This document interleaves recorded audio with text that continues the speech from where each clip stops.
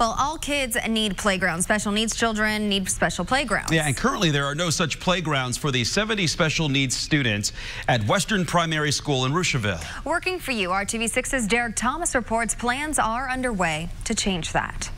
Eight-year-old Chloe Sabatas has cerebral palsy. She's pushing the wheelchair of eight-year-old Ira Evans, who has spina bifida. They are attempting to access the playground at Western Primary School. But as you can tell, the going is tough on the gravel surface. A campaign has been started to raise $120,000 for the special needs playground. Chloe loves to play on the equipment. I like swings. Uh-huh. What do you like about it? I could go high. You want to go high? Yeah, I like going high.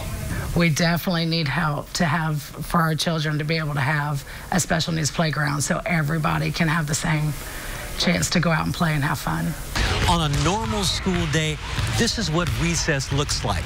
It's inside in the gym with no fresh air. The configuration and construction of the special needs playground is important. We need an area on the ground um, that's cushiony in case they have falls. Um, the fence is very, very important. I just want our kids to have the same opportunity as the rest of our population in the school. Uh, there's nothing like fresh air and sunshine for our kids, and I just want them to be able to have the same thing. So far, $38,000 has been raised. Ira's father is fired up about the fundraising effort. I think it's a very worthy cause. It brings so many smiles to so many different kids um, it's just such a great thing that um, uh, Mrs. Harlow is doing as far as raising money for this playground.